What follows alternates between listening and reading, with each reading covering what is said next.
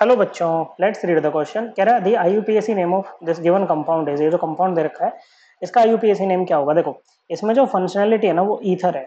Okay बच्चों क्या है? ईथर है. ईथर को नाम कैसे देते हैं? ऑक्सी करके देते हैं. और ये इथाइल ग्रुप ईटी मतलब इथाइल ग्रुप यहाँ पर साथ में लगा हुआ है.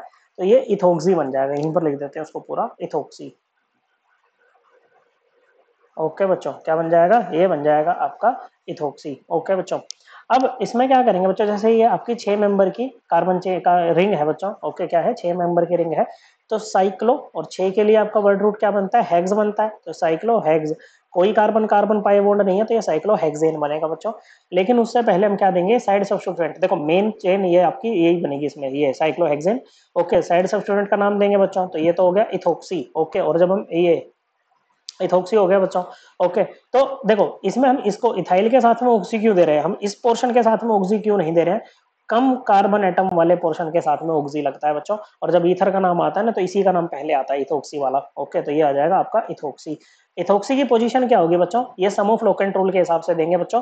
मतलब जैसे ये और ये दो ग्रुप्स इनकी जो पोजीशन होगी ना, उनका सम जो है मिनिमम आना चाहिए। तो वो कैसे आएगा? देखो, अगर इसको वन दे दिया और इसको टू दे दिया तो सम आएगा two plus two four plus one five और अगर आप इसको वन देते हो और इसको टू देते हो ना तो सम आएगा बच्चों one plus one two plus two four आएगा बच्चों। तो वन आपका ये दोनों मिथाइल के पास जाएगा इथोक्सी आपका दो नंबर पे आएगा बच्चों।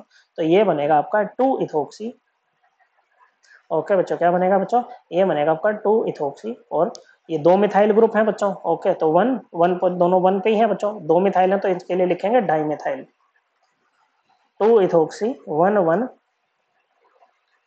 dimethyl